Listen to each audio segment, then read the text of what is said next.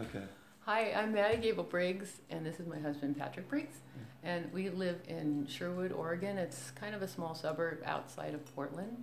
Uh, I'm a writer and an artist, And I'm an IT analyst. and um, we lead a civic engagement group here in Sherwood. We think it's really important to have uh, the opportunity to be engaged in uh, areas that are outside the, the big cities. And um, there's a couple reasons we're organizing this event in particular. Yeah. Um, And we're, we're going to be actually doing our demonstration here, here in Sherwood.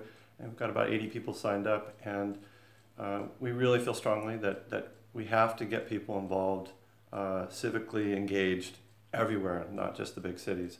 mhm. Um, we also feel like that the way we're going to bind our country together uh, is to get people involved everywhere. Yeah, uh, one of the things we encounter leading a group is that people will say, you know, I hate the government or the government is bad, but we try and remind people that they are the government. It's us, the people, and we can make it and we can unmake it, Mm-hmm. and we have to be ready for things that could happen with this, um, with this president and this administration. And in particular, I think what's getting to all of us is we've seen the daily erosion of democracy, and Mueller is fired, that's going to be a breaking point. Yeah.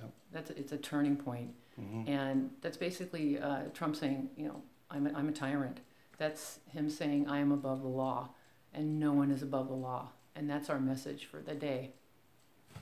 Anything else? I think I'd just like to show them this message on the back of my shirt. Yeah. This is us. See you out there on the streets. Okay.